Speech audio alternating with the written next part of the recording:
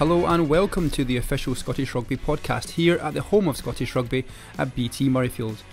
With us this week we have former Scotland captain Al Kellock, Chris Paterson, and former Scotland international Lindsey Smith, plus our very special guest in the studio, Hamish Watson.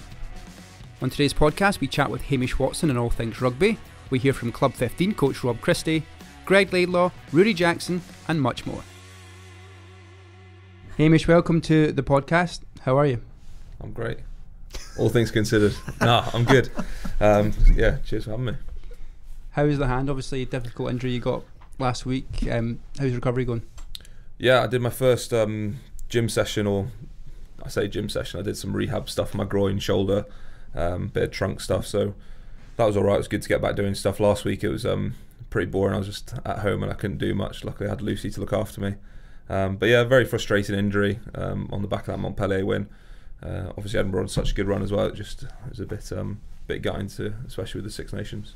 What's um what's tougher, Hamish, not being able to play and train, or not being able to put in your usual hours on Fortnite? Well, that's, that's too tough. To, that's too tough. Uh, probably not to be able to play just because of Six Nations. nah, the fort, the Fortnite stuff is. Um, I'm not playing as much at the moment anyway, but obviously I can't game at the moment, which is um, a bit frustrating. You could sell it as an important part of your rehab that kind of finger movement and dexterity in your fingers. You know, you got to Yeah, you got to strengthen the muscles in there and play hopefully. maybe double time. I'll the ask the fortnight. question when the cast is off. Back to the injury, Hamish. Do you, the game itself. Do you, how did do you know how it came about? How it happened? How did you get that injury? Um, I think it was just from a kick chase, uh, and I just tackled a guy, and it's just one of those freak things. I think Rambo um, tackled him from the other side, and I think I just got my hand caught in the wrong place, and it was either I think Rambo's shoulder or head, and it just one of those things you do it probably a hundred times in a game, but it just it just happened to break on that occasion. So yeah, pretty gutting.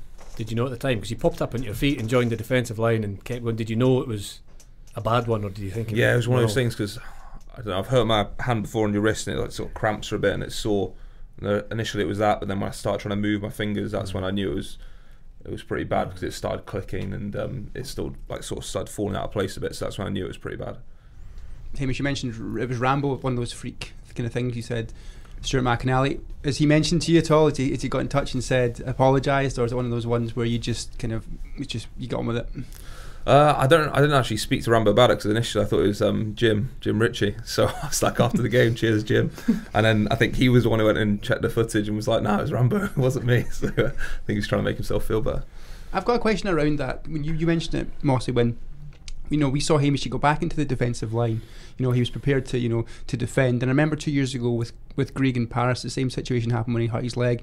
He was still continuing to play. Now, as you guys as ex players, is it just within your will to get up and do what you can, even though you know you can't play on, or is it kind of instilled in you from a team perspective? Is it more a personal thing or a team thing? That Um, a bit of both, but ultimately you're, at the beck and call of how bad the injury is. You you always want to get up. You always want to get on with it and try and fill in.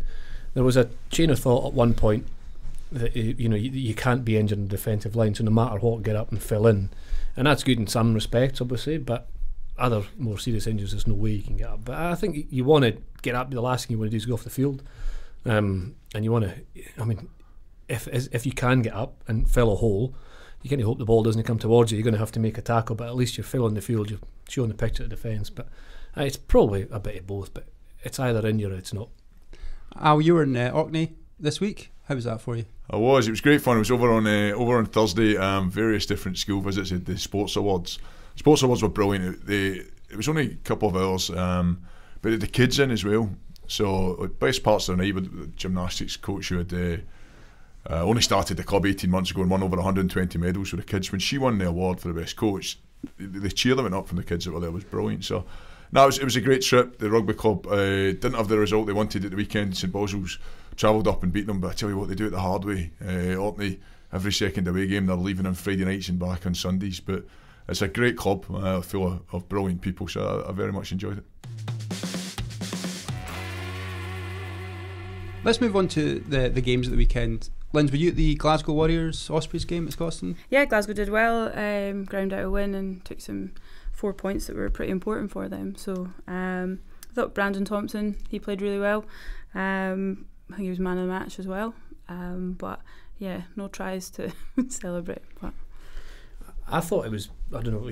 I just watched it on TV. I couldn't make it along, Lindsey. But was the wind so strong that actually it ruined the game in terms of yeah, when you play into the wind, it's difficult. You have to, you know, change your, your patterns of play. But it was probably too strong even to play with the wind. The ball was blown away for the, you know, the attacking team. Kicks were going too long. It probably, it was one of those nights where it was too windy. It disrupted the whole game. yeah, it was definitely windy. Yeah. I can definitely vouch for that. Outside with uh, primary fours uh, playing, it was pretty icy. But um, I think for Glasgow in the second half when we had that uh, penalty pretty far out, I think that actually helped us. Yeah. Um, but it went behind us. But yeah, um, I think for the kickers, it was a pretty hard day for them. Scramble defence was good. There's, um, can't remember who made the break, Nick but Nick Frisbee. Frisbee made the tackle just Yeah. before half time. So to go and playing into that wind only 3 0 down was, was pretty good. So I thought Swinson was good as well. I don't know if you guys saw it, but Swinson was I the big shift. Yeah, Swinson was terrific. The uh, the cover attack you're talking about before half time, that's Cree. Like Ospreys were, they, they should have had more out of that first half. Um, it was it was a big enough win that they should have been 10, 15 points up, and they missed missed two kickable penalties as well. But credit to Glasgow in the second half in a game. They talk about winning ugly. Uh, Kenny Murray came out and said, and well done to Kenny Murray as well. He took over as interim head coach when Dave was away at his, his son's wedding. Um, that's a big week for him. Um, he I think I think he described it as a doer game, uh, which is a good Scottish word. But I don't think it was. Uh, I don't think it was one that uh, anybody would be rushing back to watch the highlights. But a great and important four points. After the game, we heard from Ruaridh Jackson. Uh, yeah, pretty, pretty exposed. Um, definite tale of two halves. I think the, the first half we were just it was all about holding on. Um, they naturally had all the pressure with the wind. It was hard to get out and and the bu- slippy ball as well. It's hard to actually keep ball and, and, and create pressure from our side. So to go in three 0 was. Uh, Felt like a, a little bit of a win for us. So we knew we had the, the, the wind second half and we controlled it really well. And Brandon's kicking at goal and, and to touch were, were excellent. Did you think it was just like it could be a penalty or a couple of penalties in it? Yeah, definitely. Uh, kept trying to get myself back in the pocket for a drop goal, but never quite came. I was gutted.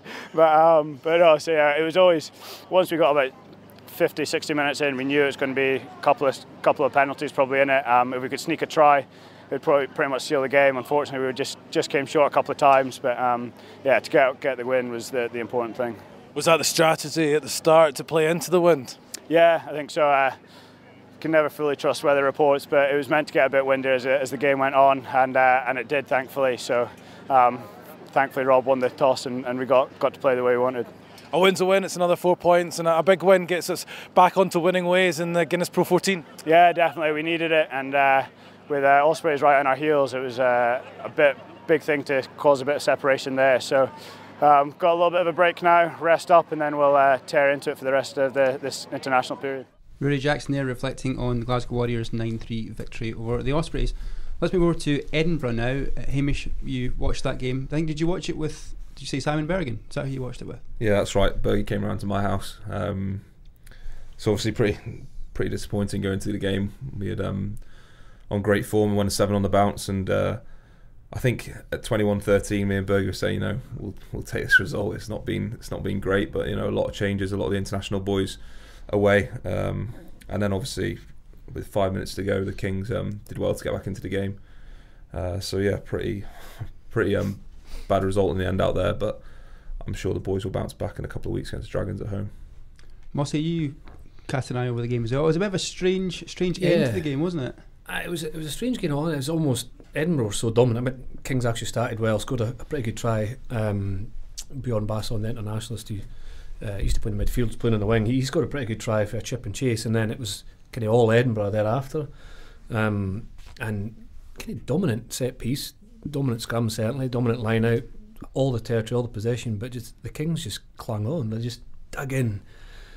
And was talking to Hamish earlier on, Edinburgh had to work really hard for their scores. Um, uh, I said the, the start of the second half, Edinburgh kicked off. Kings dropped the failed to catch the, the kick off. So it's a knock on. So that's the 40th minute, and um, it took to the 62nd minute to score the penalty try. So in that 22 minute period, Edinburgh were effectively in the Kings 22. Kings couldn't get out. Edinburgh all territory possession. You, you got the reward eventually, but it's so frustrating at the end of the game when yeah it was a wonder try to finish it, but the two tries that came in the last two minutes for the Kings were were soft to some extent. So it'll be frustrating for for Edinburgh that one. They're so dominant, but yet to lose. I suppose it sums up the Kings, similar to Glasgow when they played over there. They've got the ability to score, like from loose kicks, from turnovers, some exceptional bits of skill. But they're not a, a complete team by any stretch of imagination. But they've got some some pretty sharp players. The, the disappointing thing from their point of view is the momentum that had been built up. Hamish, all through December, the results at the beginning of January, everything's going in a great place, and then no disrespect to the Kings, but for me that's concentration, especially when you look at the last seven, eight minutes of the game. The, the game was lost not because there wasn't a good enough team out there to, to win it, but because at times they maybe didn't get the uh, the heads where they needed to be. Do you agree with that? Yeah, I would, and to a certain extent. Like I mean, like Moss said, it, we made it very hard for ourselves sometimes to score points, but it's one of those games away from home where if we would have won that, you might not have looked. You would have been like, no, that's a good win away from home in tough conditions.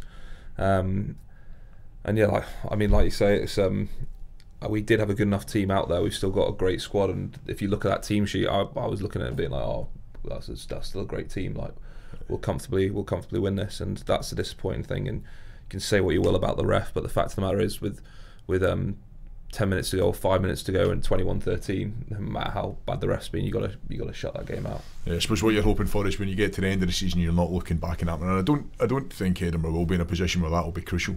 But you don't, certainly don't want to be in there in two months' time thinking uh, if only. Well, Benetton, well, Ulster and Benetton drew, were the kind of couple of main rivals for that that qualification position or the qualification positions in it's a Conference B you're in, isn't it? Yeah, so that, that helps in some ways, but Yeah. just disappointing not to get the win. Yeah, I think it's like two points is there between second and 5th Mhm. with Scarlets as well. Mm. So really competitive. But from your point of view, being a player, even regardless of whether you're injured or not, how how difficult is it for you to sometimes watch these games from home or from the touchlines?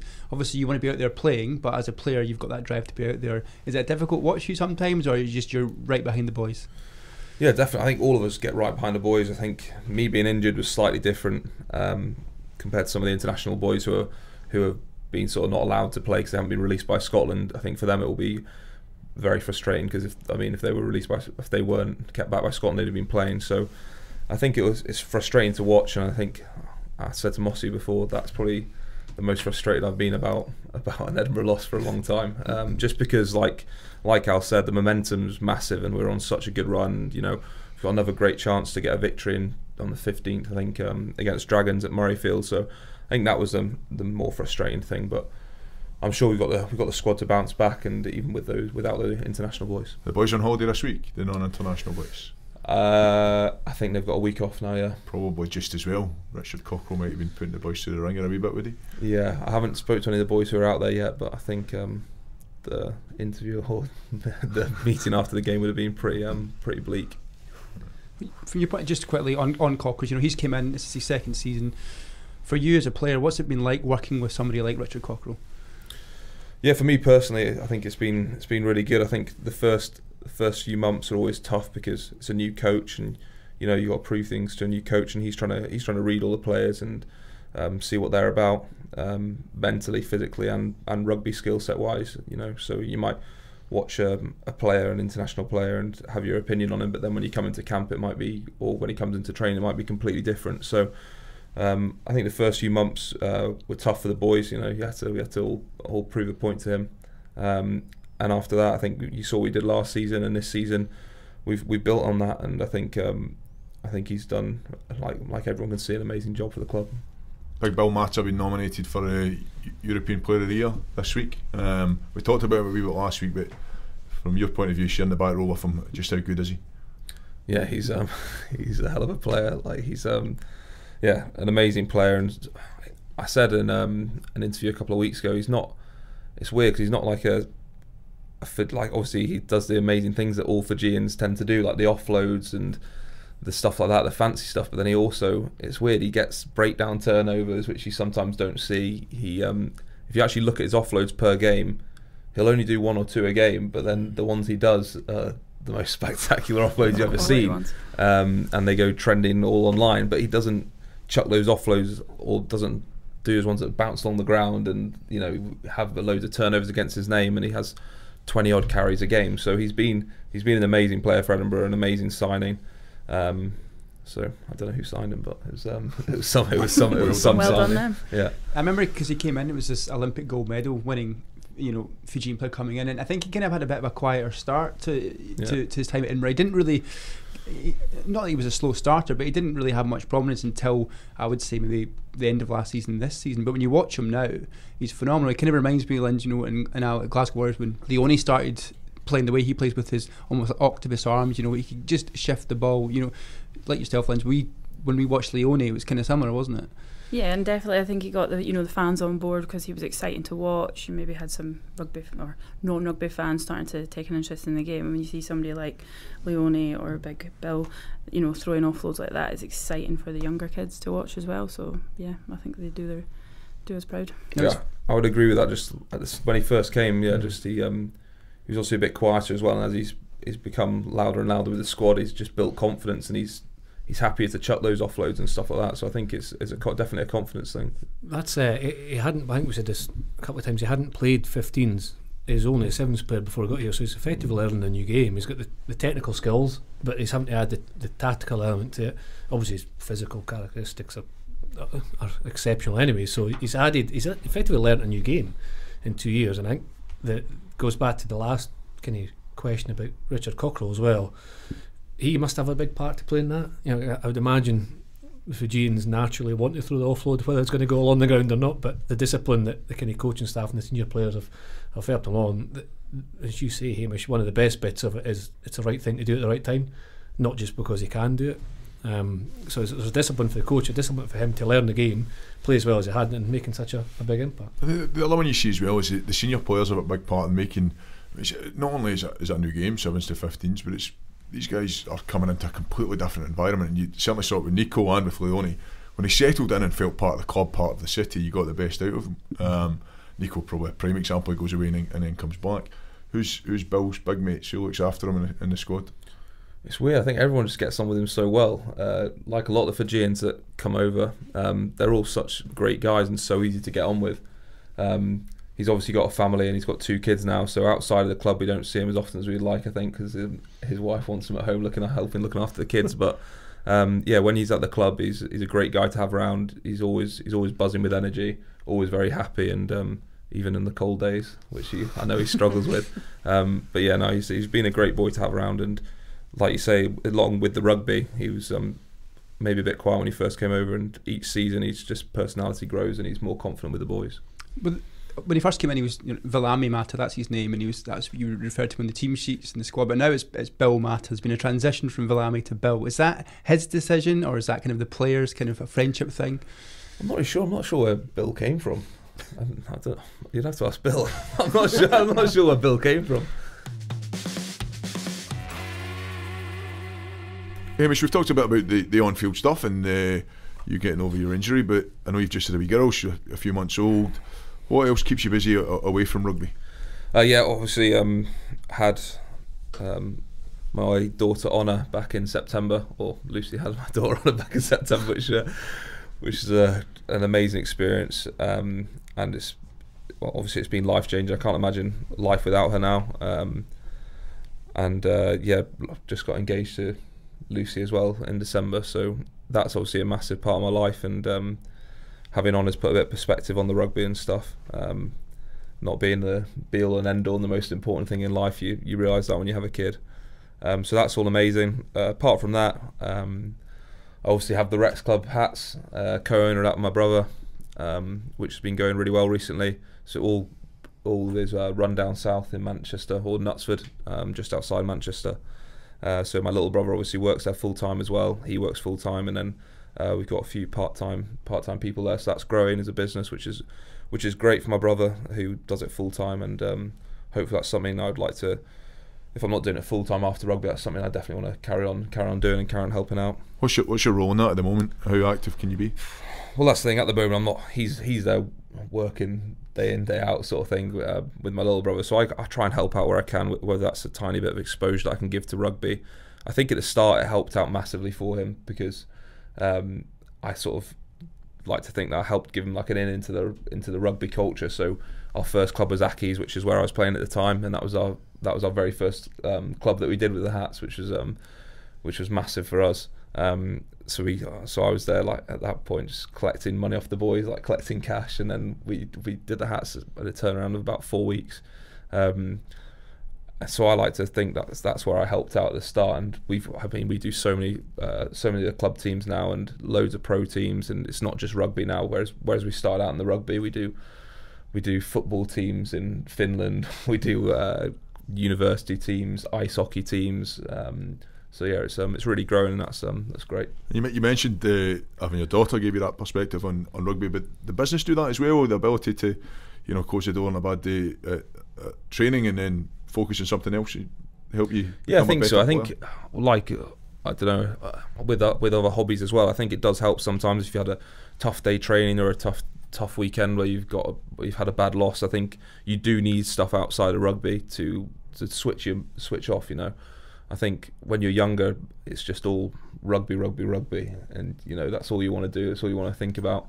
Um, and I think you do need those things um, outside of rugby, and it also keeps you keeps you motivated as well with the rugby stuff. If you can, if you have that ability to be able to switch on and off, um, I think that helps actually helps with your rugby. That's what I found this season anyway. So I, me- I mentioned Fortnite right at the beginning, but yeah, you do enjoy your gaming, and there's a few of the boys who be just the same as you putting in a few hours. But I, assume that the gaming has dropped down the priority list now. It has. It's dropped to probably on average 30 minutes a day probably i mean i, I get the odd two hour session in when honor's gone to bed early and i get a good two hour session but i have to admit i literally jump on I see if boys are online if boys are online i'll be like right i've got 30 minutes or something and then if they're not i'll turn it off whereas before i would have played on my own and waited for boys to come on and play with me sort of thing you go you go online and obviously there's the usual suspects always always there. Name them. Name them. Fly Bubble Boy, Smogged Scucks. These are all these are all unofficial names. I wouldn't want to I wouldn't want to chuck out their real names.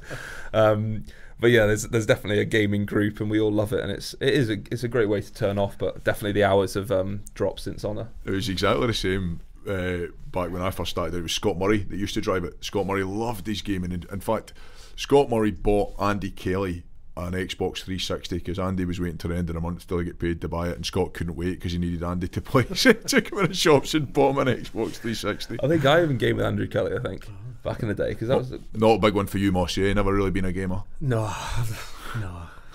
Much rather get out and climb a tree. I've not got the patience to sit in front. I need to be active.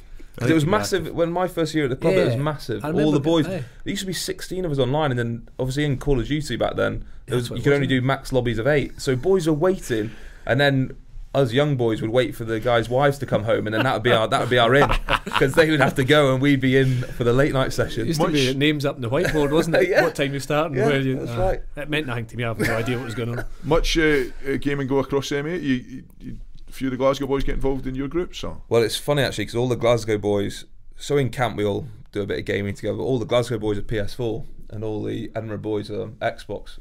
So um, now we don't deliberately. We don't, we don't, no, I don't, I don't know. It just works out like that. But so we don't. Um, now we don't game. We so, don't game together. So looking further ahead, then, and I won't wish your career away. You've got many good years ahead of you. But you talked about hopefully being able to take on the business full time by, by the time you finish. Yeah, I think we've just got. I mean, hopefully we've got to see where it's at. If it continues to grow and Gus needs me to work full time and that's what I want to do, then um, definitely that's an option. I think, um, yeah, I think if it's going really well, that's that's probably something I would like to do, um, and just hopefully it's still growing. Any any interest in, in the coaching side of the game? It's weird because I don't I don't have my badges and I don't which I probably should go and get but I do um I do coaching outside of rugby but just the odd session I don't work full time with any of the teams or part time with them. Like I don't go down to Accies, but I do I do the odd training session um, when we have touring sides up here, and I do really enjoy it. Um, whether it's something I want to do full time, I don't know right now, just because you know when when you play at training every day, and I, right now that's not what I'm thinking of. That's not where I see myself um, coaching, but you never know at the end of my career, and if I still am enjoying those rugby sessions, um, it might be an option. I was, uh, as we chatted about earlier, I was in Orkney for four days, and every single visit I did, the first question, or one of the first questions was, Who's your best mate in rugby? So, who's your best mate in rugby, Hamish? It's tough. Oh, I can't say my best mate. We've got we've got a lot of crew who hang out with a lot of the old a lot of the older guys who have been at the club for the same time as me. So we, I mean, it's my eighth season now. So Stuart McInally, Tom Brown, um, Gilco, uh, Bergie's been around Edinburgh a long time now. Um, so a lot a lot of those guys. Um, and then, but the good thing about Edinburgh is we get on with all, well with all the young guys as well. So So anybody, anybody, I'm going back to the Glasgow Edinburgh rivalry. Any good friends in Let it Glasgow? go, Al. Let it go. Any good friends in Glasgow, and then you play for 80 Yeah. minutes, and it's uh, everything's forgotten. Oh yeah, definitely. I mean, I've when you're in camp, I get on well with all the Glasgow guys. They're all great guys. Um, it's when you've got the Edinburgh jersey on that you that you don't tend to get on too well with any of them. Um, but yeah, I've got I've got a few really good mates at Glasgow. I get on really well with Wills, um, and I speak to him a lot outside outside when you're not in camp. Let's look over to um, under 20s and club 15. There was a, there was a game at Oriam last week between the club 15 under 20s.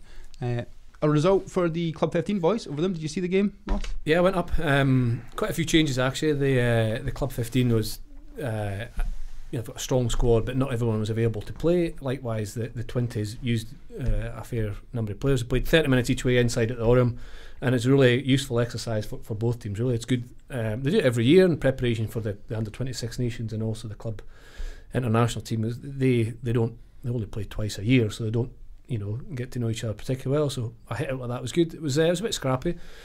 Um, 20 scored first, and then the, the physicality of the, the club international team put them in a good position. So worthwhile. The club international play this weekend on Friday night at Myreside uh, against Ireland, and obviously the 20s mirror the, the the Six Nations as well. So um, important games for, for both sides. But last week was yeah, it laid the platform, but I, I'm not sure how closely represented the teams that will start this weekend were were represented uh, last Tuesday. After the game on Tuesday, Ben Fox caught up with head coach Rob Christie. Rob, good run out for the boys today. Yeah, no, it was good. Just uh, it's good to get a look at everybody in a live situation. You know, you can train as much as you want, but until you get get into the kind of real situation and things are moving a little bit quicker, you, you're not quite sure what you've got. Um, so, no, I'm reasonably pleased. Uh, it, was, it was good to actually have a look at a combination of people and individual players, to be fair, and, and get a little bit more detail on them. And um, under 20s, they, they gave you a good game, but um, but your boys were up to the task. Oh, look at yeah, that's what the twenties were very good. You know, there's young, some young boys there, and they got they got real stuck in it. Their physicality is pretty good, as was ours. Um, so, so in, in respect to that, I it's pretty good. And you know, there'll be areas to work on. Like like obviously we've got loads to work on, but you know, on the whole, it's, it's pretty pleasing to be fair.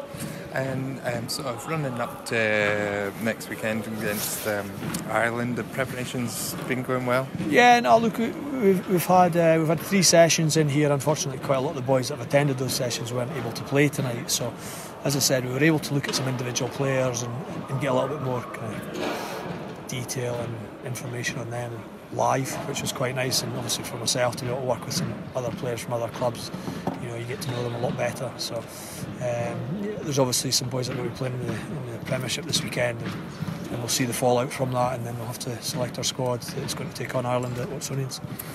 This isn't your first rodeo. You've um, done Club 15 before. Um, can you tell us a little bit about the, the sort of format of the Dalriada Cup and, and what that means to you? Yeah, no, look at. For me, it doesn't matter what I'm doing. Like I'm keen to work at the highest level possible, and I really enjoyed this last year, and I've really enjoyed it so far this year. Um, as I said, you're working with different people, and you're learning new things as well, which is which is quite nice as a coach. But for, in respect to the players, a lot this will be the highest a lot of these players play. You know, in relation to the level.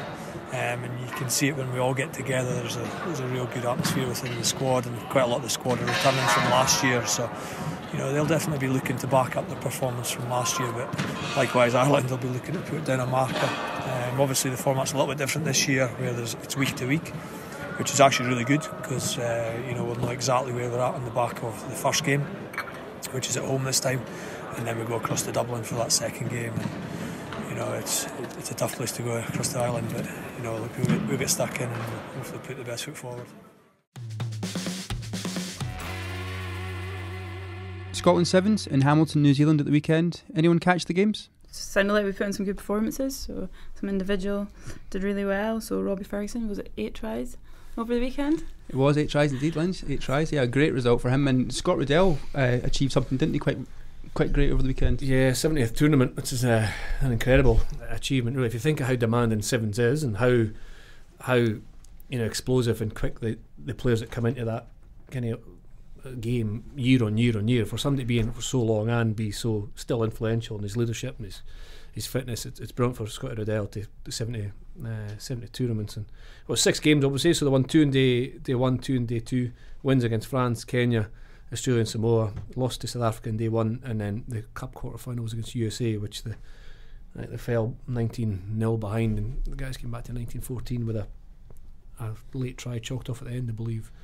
So it could have been better, um, but uh, I'd, yeah, positive. I'd say a positive weekend in, in the sevens.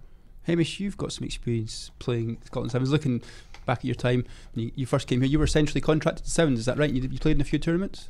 It was um, it was a dual contract back then. I think so. I played a bit. I think I played like four games for Edinburgh that year, and then did four um, did four um circuits as well. So I went to New Zealand uh, to do Wellington, and Tokyo, Hong Kong, and Vegas. So I got a few good trips in, and um, I wasn't not- as- not bad. rubbish. Yeah. I wasn't the best sevens player back then. I mean, we were all pretty young, and it, it was very different to what it is now. I think if you'd go and play in that now, it's an amazing. Obviously, it's an amazing opportunity either way. But the team now, they're getting to the quarterfinals, um, and they're getting they're getting better and better year on year. You know, it's a pro it's a pro setup. You got pro players there, whereas we're, back then we only had maybe two pro players. Uh, it was made up of academy boys like myself, and then a lot of club players. Um, and we only trained maybe twice a week. The club boys came in on a Wednesday night, so it was it's not like it is now. Um, and I mean, I remember losing to I think the Faroe Islands at once. So or Cook was it? No, it was the Cook Islands or something. but um, yeah, it was. Um, we yeah we I mean we, we had a few good victories, but there weren't there weren't many in us. And if you actually look at our squad, we had a few great players there as well. But um, yeah, it was something I'd love to try again. It's just trying to trying to do all. I don't know if I'd be good enough either after all that. What players were you? Were you, you mentioned the squad, but what other players were around you then during your time in the Sevens? Uh, so it was uh, Scott Andrew, Riddell Andrew would have been Turnbull. Scott Riddell was still there. But Scott Riddell was still there. Andrew Turnbull, uh, Budgie. Um, Colin, Gre- Colin Gregor. How many Colin tournaments Gregor. did- How many tournaments did he play? he did loads. Mm, we did a lot, yeah. So they were Colin Gregor and Andrew Turnbull and Scott Riddell. They must have been, I think, our three pro guys. We only had three Yeah. pros. Then it was like uh, me, Sean Kennedy, Samadala Klein, Adam Ashe, Rory Hughes. So a load of young boys. Sorry if I've left someone out, but like it was a lot of young academy players with pretty much near to no experience. Like maybe a few of us had a few pro games under our belt. Um, and then you had um, the club players who came in. Um, so yeah, it was um, it was tough. What Um, when you look back on that? I mean, you talked about the tournaments you went to, and you were in. Where did you say you said you were in New Zealand? You were in Tokyo. You're traveling the world. yeah, 19 years old.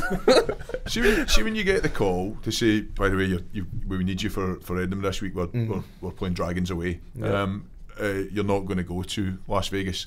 Uh, where was your head at there? I mean, it sounds as if the, the Sevens was a dream for, for you boys when you're, I suppose, younger. And Yeah, I think so, I think so. It was amazing to do the tournaments, and I was really happy that I went on four amazing tournaments and went to see some amazing places and play some great rugby. But I think my end goal was always to play for Edinburgh. I think I played one game quite early on, so I got like a taste of playing in the 15s, and I think I always knew I wanted to play 15s. So when and it was different. Like the academy now, you don't train with the you don't train with the main squads, whereas back then I was we were right. training every day with um with Mossy and all those boys. Um, Mike Blair, Chunk, like all those all those old lads. Like so, Old you- lads. I think uh, I think Ah, that easy. that's what we knew we wanted to do. Um, Was How Ulster- was it how old Ulster are you away? guys? yeah, that's right. I remember yeah. you coming off the bench. Yeah. Yeah.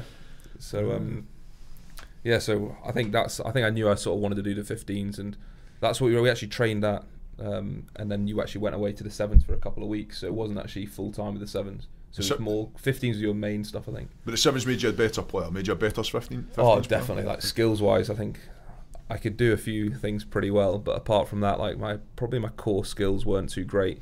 I mean, I could always like jackal and you know carry hard and stuff, but actually sevens just develops those those things in your game that you really need, like the passing and just one on one one on one tackle. I remember I played New Zealand and it was I think it was Tomasi Cama. I flew out of the line and he just stepped me and ran the length of the field. And I think that was one of the most embarrassing moments of my career. Um, and it's just little stuff like that. Your your tackling needs to be so good, um, and your um, your detail and stuff. So I think it does make all these players so much better. Score any tries? One against Uruguay, Was, it, was it a good try? it was horrific. it How was was it horrific? I think they had maybe like two guys in the bin, and it was just an overlap, and I just trotted it in from a meter out. I- I would like to think if I did it now, I'd be a bit better. Yeah, let's move across now to Scotland Women. They open their Six Nations campaign this week as well. Lynn's ex- excitement in the squad building up to the first fixture. Uh, yeah, I think they're really looking forward to the start of Six Nations. It's like a special time of the year for the girls. Um, it's that time of the year that they all kind of aim towards. Um, but yeah, they've got Italy first up, which they played in the autumn test as well. Um, Italy were a wee bit stronger, um, so I think they'll be hoping to turn that around this time. You You've recently announced your, your, your retirement from, from, from rugby, I like to call it hanging up my boots. hanging up your boots. Makes me Um, sound old. This will be your first time watching, you know, the team playing in, in, the- in the Six Nations. What's your feelings towards that? Is it mixed emotions or kind of relief? Or what, are you, what are you going to be thinking about? Uh, yeah, like a bit of mixed emotions. Going to miss it. Um, spent a lot of time um, within that setup and aiming towards the Six Nations every year. So yeah, I'll be one of their chief supporters. But uh, yeah, taking a bit of a step back and trying to look at different ways to you know stay involved with it. The voice of BBC Alba. Yes, I am this weekend. There we go. Me and Hugh Dan. It's a big. Uh, it's a big Six Nations for the women for the qualification ahead of the Yeah. World Cup as well. Like Yeah. crucial that they uh, they get good results. Yeah, like I think um, playing at Scotstoun as a home um, for them now is, you know, it's really important to them that you know the crowds are they're big and they're noisy, and um, I think for a long time we didn't have a regular home. Um, or a stadium that we could call our home, which we do now. Um, so I know speaking to some of the girls um, from the autumn test against Canada, um, just the support from the crowd was huge. So if you're at loose end next Friday, get yourself along to Scotstoun. Um, I'm sure the girls would love to hear you there. So. Brilliant. Do they? Uh, do the Italians have any professionals? Not as far as I know. But They're quite strong as a unit, aren't they? The, the last yeah, they're quite couple- strong. Yeah. Um, they're ranked seventh. yeah. Um, We're eleventh. and we're eleventh at the moment. Yep. Um, they've come on a lot Mm. in the last few years. With regards to the women's game, we can exclusively announce that Jasmin Paris, who recently became the first woman to win the 268 mile spine race, billed as one of the toughest endurance contests in the world, will be delivering the match ball at Friday night's Scotland women's game at Scotstoun versus Italy. Lynn, she's an inspiring woman who hopefully can inspire Scotland as they take onto the pitch. What's your thoughts on that? Uh, yeah, I think it's great that she's going to be presenting the match ball. Jasmin, yes, she won the spine race, which is 268 miles. Um, she beat 136 other competitors, but um, she also smashed the men's record by 12 hours. Um, while she was doing all of this, she uh, breastfed her child as well. So, um, pretty inspiring. um, What's a spine stuff. race? Um, it's like an ultra running race. So she ran for over 83 hours. Eighty-three hours. Yes. So, um, and yeah, Sounds expressed milk at every stop along the way Oh, for her 14 month old daughter. That's pretty impressive.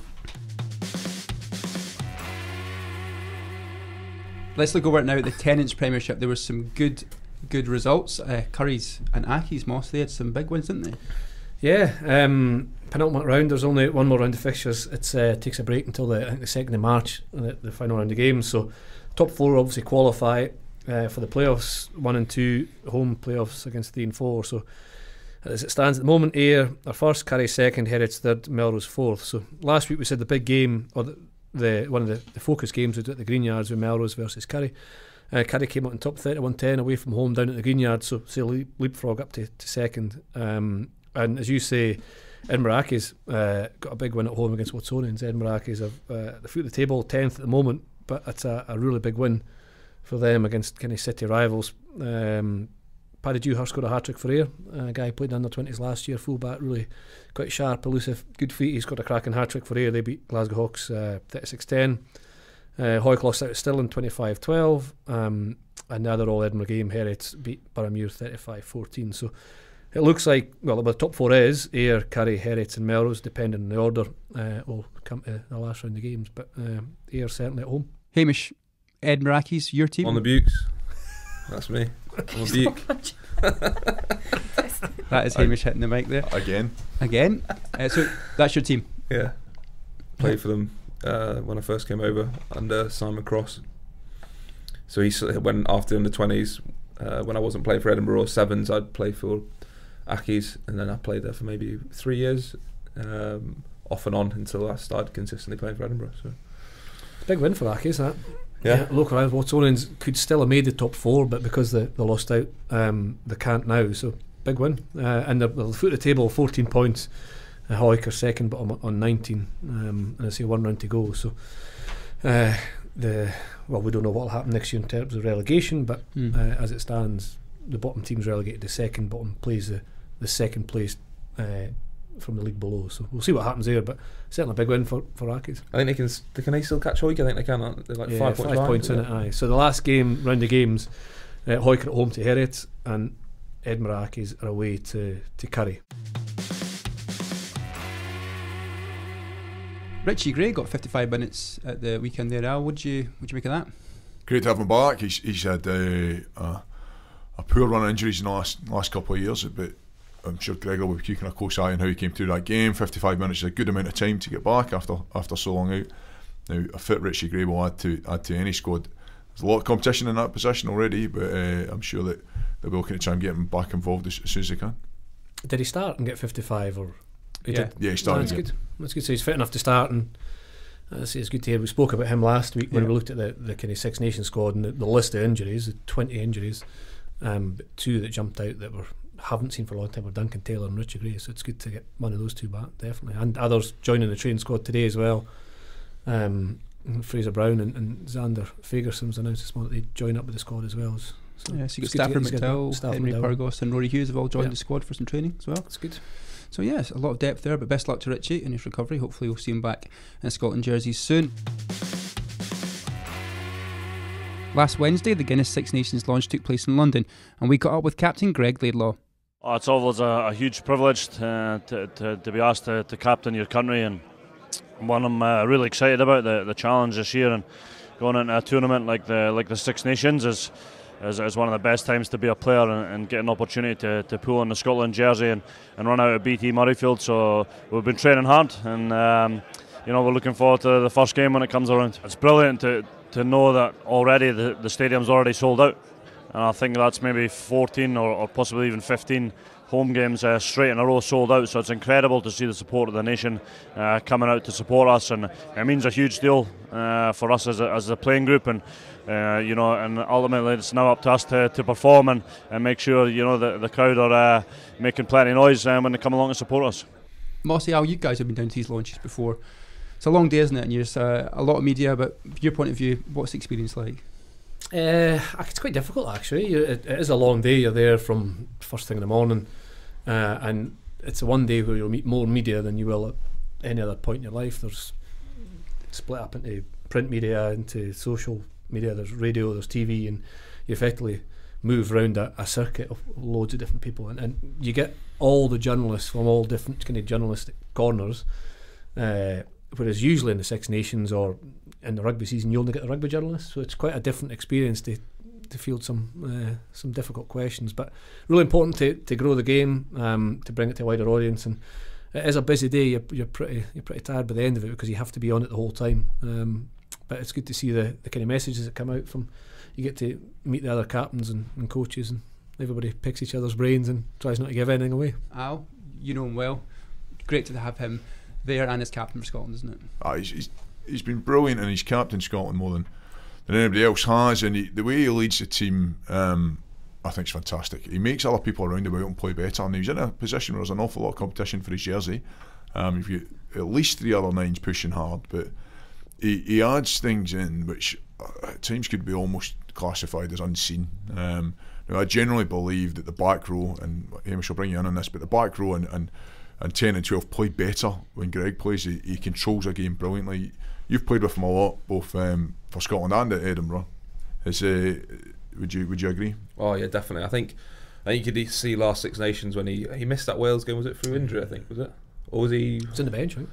Um, but when won, yeah, when he came back starting, I think you see what yes, I think you just see what Greig brings. He's he's so passionate about it, and his leadership, his leadership on the field and off it. Um, like I think it's it's such a big loss when he's not playing and not in that Scotland jersey. I know when, I mean, our other nines offer something completely different, which is good as well. Um, so if you've got one of them on the bench, um, and we and we need that, then that's great because it's just completely different. But when I know I'm, I like I like it when Greig's starting. It's um, it's it's just brings confidence to the whole team. I think in his his leadership skills. Does he ever get angry at you?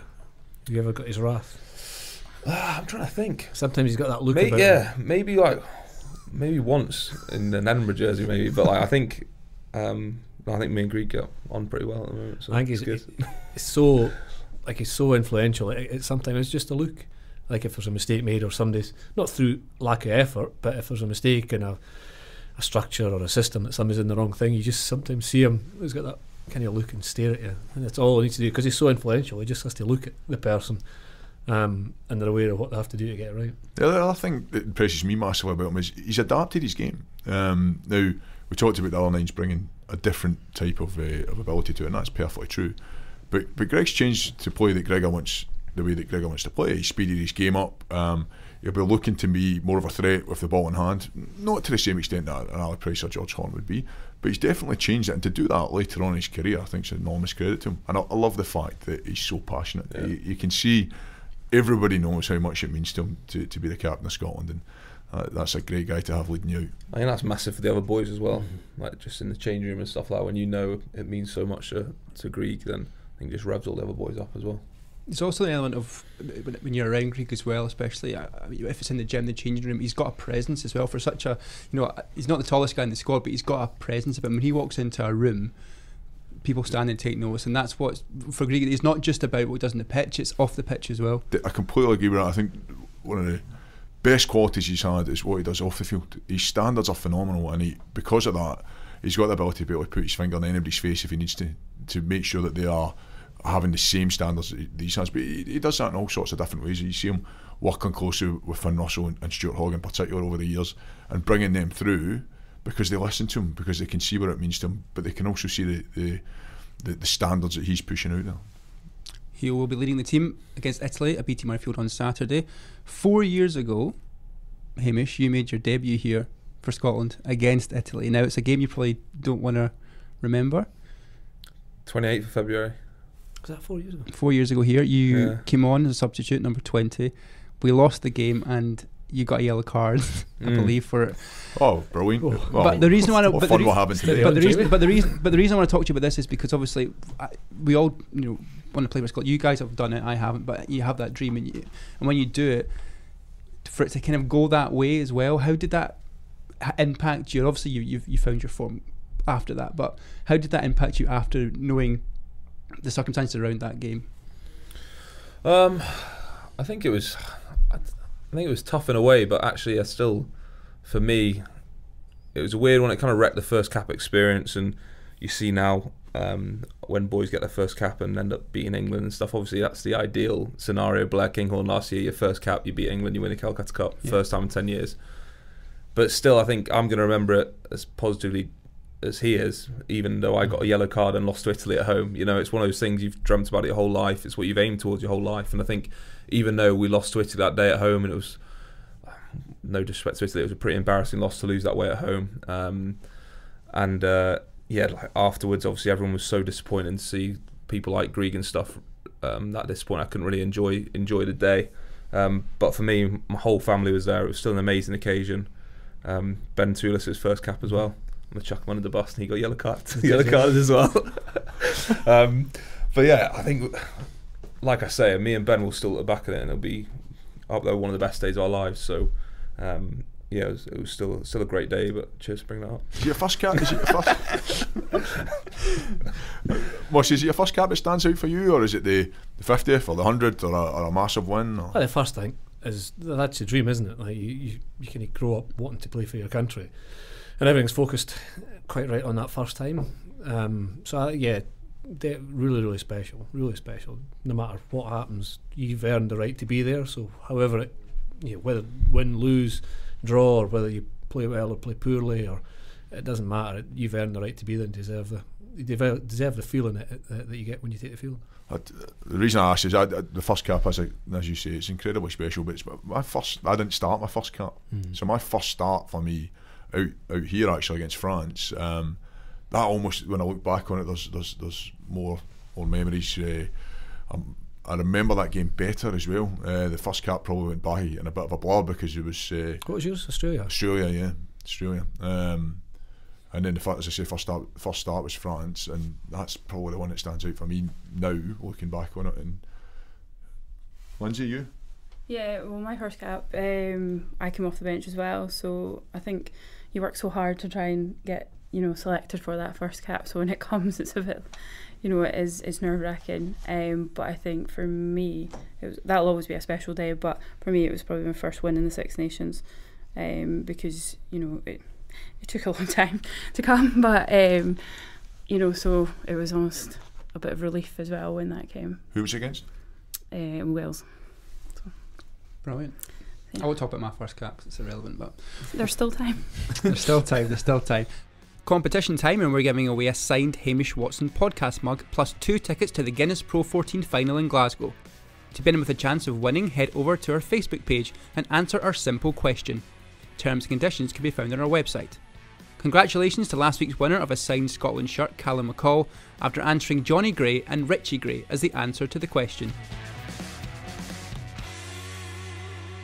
Jamie stitched me up last week with a gripe, but you know when if you score a try and fans celebrate, if they're sort of know the fans, fans are perfectly entitled to celebrate. uh, You're trying to Yeah, ban, so- you're trying to ban the fans. Nobody's to allowed- celebrate Do now not as well. enjoy yourself. Nobody's allowed to smile, all right? Um, no, when the subs are warming up behind the dead ball area and they jump in the pile up, I said from a, like a, the defending team point of view, I really under my skin. Hmm. Um, but everybody else seemed to think I was a killjoy and subs only part of the team. I loved it. I think that But what, what's it's your an view? opportunity. Um, it's a weird one for me. When I like, if I score or one of our boys score, we all run over. We say well done, and then yeah, the subs get involved. And I think when you're when you're in that in that moment, you don't notice. So I don't notice. You know what I mean? You don't notice if the subs come on and run on and pat you on the head because you just you're in the moment of scoring. But like, Do you I can- notice if the opposite if the opposition opposite- team oh, rubbed on? if the opposition run on, I'm Yeah. like you, I'm Yeah. losing my Ah, but that's not, that wasn't the point. I agree with it. That's why I do it. Oh, like, you'd, be do, you'd be doing it to try and get under their skin. Go up and, yeah. Sorry. So Sorry, that's that, that's interesting though. So there's there's two sides to it. So if it's if it's you that's doing it, it's fine. But it's the perception of someone else doing it is when it's annoying. Yeah, That's it's one of those things, I think, isn't it? if you're winning, everything's great, isn't it? Well, thank you very much, Hamish, for coming down to the studio today. We'll be back next week with more exclusive content here on the official Scottish Rugby podcast. Thank you for listening.